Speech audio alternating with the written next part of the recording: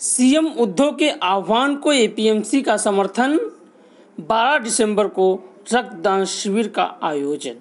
NCP अध्यक्ष शरद पवार के जन्मदिन पर मुंबई की एपीएमसी में रक्तदान शिविर का आयोजन किया गया है। एपीएमसी सभापति अशोक डक ने मुंबई करो से 12 दिसंबर को होने वाले रक्तदान शिविर में बढ़ चढ़कर भाग लेने का आह्वान किया।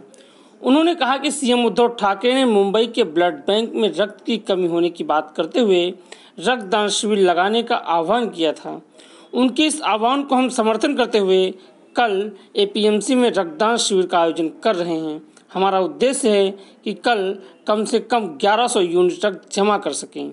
महाराष्ट्र गवर्नमेंट और अपने मुख्यमंत्री जी ने जो ऐलान किया है कि ब्लड बैंक में ब्लड कम होने की वजह से महाराष्ट्र में ज़्यादा से ज़्यादा ब्लड कैंप, डोनेशन कैंप होने चाहिए।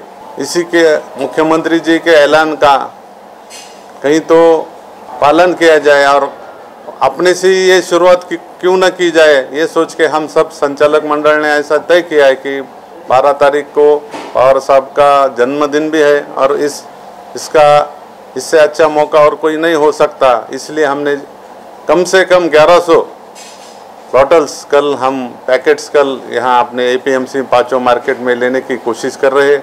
बता दें कि रक्तदान शिविर का आयोजन एपीएमसी की लगभग सभी मंडियों में किया गया है जहाँ कोरोना महामारी के नियमों का पालन करते हुए प्रशिक्षित डॉक्टरों की निगरानी में रक्तदान करवाया जाएगा।